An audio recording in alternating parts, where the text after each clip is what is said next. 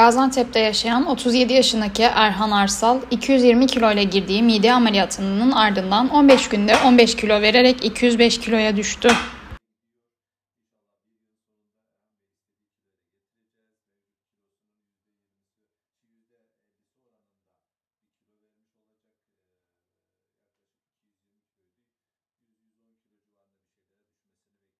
Yaklaşık 30-35 senedir kiloluyum. Çok rejim diyet yapmama rağmen hiç veremedim. Sonrasında bir arkadaşımın tavsiyesi üzerine Emin Bey ile tanıştım. Ameliyatım oldum. Elhamdülillah şu an çok sağlığım yerinde. 15 günde 15 kilo verdim. Rabbime şükürler olsun.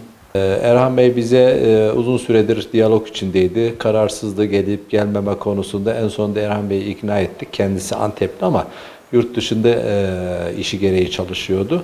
Sonunda karar verdi. Aralık ayının ortaları gibi geldi bize.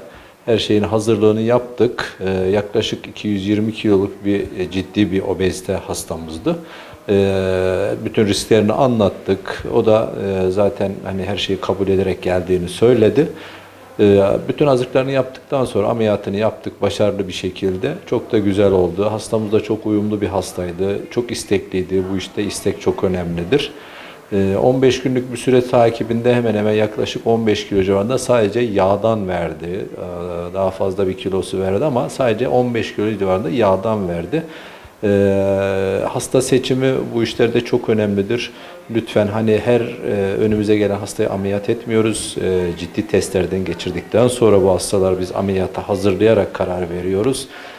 Bakanlığın da önerdiği e, çerçevede e, mutlaka iyi bir e, ön çalışma sonrasında hastalarımızı ameliyata alıyoruz.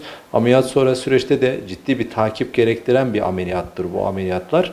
E, diyetisyenimiz de bir yıl boyunca düzenli olarak e, aylık kontrollerimizi mutlaka yaparak takibini yapıyoruz.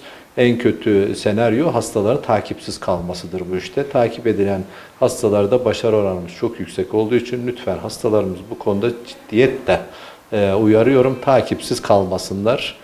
Nasılsın? Bir sıkıntı var mı? Bir sorun yok. Yok, Gayet iyi. iyi. Herhangi bir yemende, içmende Yok, herhangi bir sorun yok. yok. Ağrılarım da yok, Sıvılarımızı başladık. Gayet Sıvılara güzel. başladım, Devam ediyoruz. İyi çok şükür. İyi. Kritik sürecimiz daha bir devam edecek. Bir ay bitimine kadar bu ameliyatlarda bir kritik süreçtir. O süreç Evet. içerisinde kesinlikle mideyi zorlamıyorsun. Anladım. Verilen vitamin şuruplarını, mide koruyucu şuruplarımızı ve kan sulandırıcı ilaçlarımızı düzenli olarak. O yüzden mutlaka onları düzenli kullanalım. En ufak bir şeyde hem diyetisyenimiz hem bizimle irtibata geçmen gerekecek. Tamam. Ee, biz her türlü sana 7-24 hizmet veririz o konuda destek açısından. İnşallah her şey çok güzel olacak. İnşallah, Bir sorunuz olsa olun. da her zaman buradayız, yanınızdayız. Sağ ol hocam.